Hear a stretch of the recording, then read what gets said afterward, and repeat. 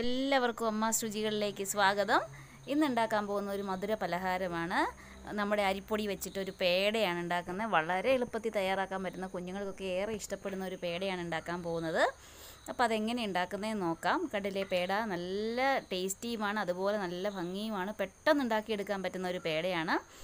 അപ്പോൾ അതെങ്ങനെ ഉണ്ടാക്കുന്നതെന്ന് നോക്കിക്കളയാം. അതിനായിട്ട് ഞാനൊരു പാൻ അടുപ്പത്ത് വെച്ചിട്ടുണ്ട്.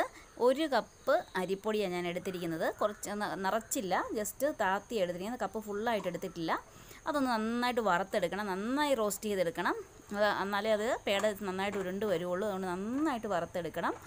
വറുത്ത അരിപ്പൊടിയാണെങ്കിലും മതിയാവും. ഞാനിതിപ്പോൾ പച്ചപ്പൊടിയാണ് എടുത്തിരിക്കുന്നത്. അരി അരി വെറുതെ കഴുകി വാരി പൊടിച്ചെടുത്ത നന്നായി തെള്ളിയെടുത്ത പൊടിയാണിത്.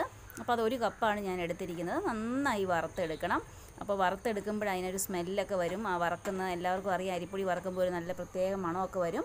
അതാണ് അതിന്റെ ഇതെന്ന് പറയുന്നത്. അപ്പം നമുക്ക് വാങ്ങി വെക്കാം. എന്നിട്ട് മറ്റൊരു പാനിലേക്ക് ഏകദേശം ഒരു ഒന്നേ മുക്കാൽ കപ്പ് പാൽ ഒഴിച്ചു കൊടുക്കണം. രണ്ട് കപ്പ് ആയെന്ന് വെച്ചും തെറ്റൊന്നുമില്ല കൂടിയെന്ന് വെച്ച് കുഴപ്പമൊന്നുമില്ല. ഞാൻ ഏകദേശം ഒരു ഒരു കപ്പും പിന്നെ ഒരു കപ്പിന്റെ കുറച്ച് താഴെയും കൂടെ എടുത്ത് കൊടുത്തിട്ടുണ്ട്. അത് നന്നായിട്ട് ചൂടാകാൻ വെക്കുക. എന്നിട്ട് നന്നായിട്ട് ബോയിൽ ചെയ്ത് വരുമ്പോഴത്തേക്കും അതിലേക്ക് ഒരു കാൽ കപ്പ് ഡെസിക്കേറ്റഡ് കോക്കനട്ട് എന്ന് പറയും. ഡെസിക്കേറ്റഡ് കോക്കനട്ട് മാർക്കറ്റിലൊക്കെ അവൈലബിൾ ആണ്. അത് ഇട്ട് കൊടുക്കണം. ഒരു കാൽ കപ്പാണ് ചേർത്തിരിക്കുന്നത്.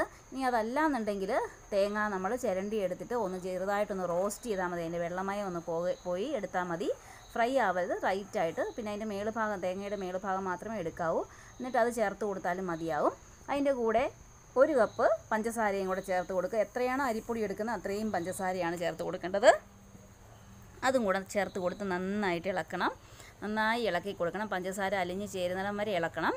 ആ അരിഞ്ഞ് ചേർന്ന് വരുമ്പോഴത്തേക്കും അതിലേക്ക് നെയ്യ് ചേർത്ത് കൊടുക്കണം. നെയ്യ് ചേർത്താലേ ഇതിനൊരു ഗ്ലേസിംഗ് ഒക്കെ ഉണ്ടാവുള്ളൂ. അപ്പോൾ ഏകദേശം ഒരു രണ്ട് ടേബിൾ സ്പൂണോളം നെയ്യ് ചേർത്ത് കൊടുക്കേണ്ടതായിട്ടുണ്ട്.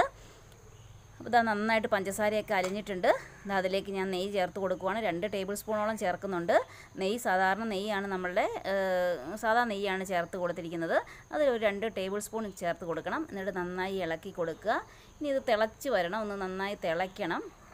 അപ്പോഴത്തേക്കും ആ തേങ്ങയുടെ ഇതൊക്കെ ഒന്ന് വെന്ത് വരുള്ളൂ ആ കോക്കനട്ടൊക്കെ ഒന്ന് വെന്ത് നന്നായിട്ട് പിടിച്ച് വരുള്ളൂ അതൊന്ന് തിളച്ച് വരുമ്പോഴത്തേക്കും വേണമെങ്കിൽ സ്റ്റൗ വേണമെങ്കിൽ ഓഫ് ചെയ്ത് വിടാം അല്ലെങ്കിൽ സിമ്മേലാക്കി വെക്കാം. എങ്ങനെയാണെന്ന് വെച്ചാൽ ചെയ്തിട്ട് വേണം നമ്മൾ അരിപ്പൊടി ചേർക്കാനായിട്ട്.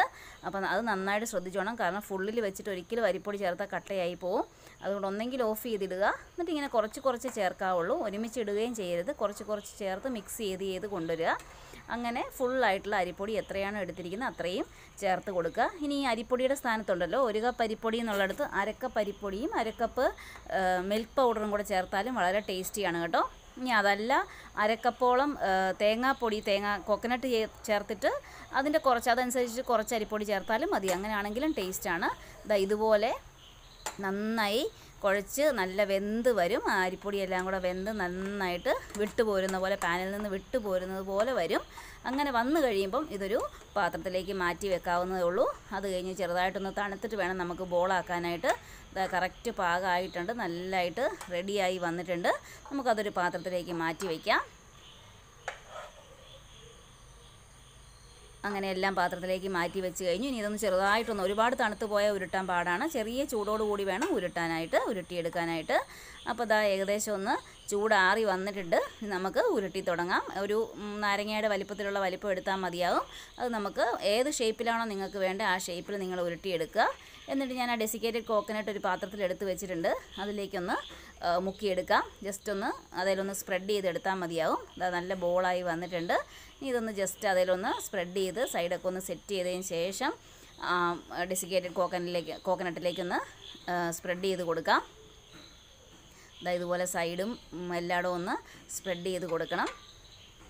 അപ്പോൾ നമ്മുടെ പേട വളരെ എളുപ്പത്തിൽ തയ്യാറായിട്ടുണ്ട്. ആകെ ശ്രദ്ധിക്കേണ്ടത് അരിപ്പൊടി നന്നായിട്ടൊന്ന് വെന്ത് വരണം. പാൽ കുറവാണെങ്കിൽ ഇച്ചിരി പാൽ ഒഴിച്ചു കൊടുത്താലും കൂടുതൽ കൊടുത്താലും വേണ്ടില്ല. ചില അരിപ്പൊടികൾക്കൊക്കെ വ്യത്യാസം ഉണ്ടാവും പാലിന്റെ അളവ്. അപ്പോൾ രണ്ട് കപ്പോളം പാൽ ഒഴിച്ച് കൊടുത്താലും വേണ്ടില്ല.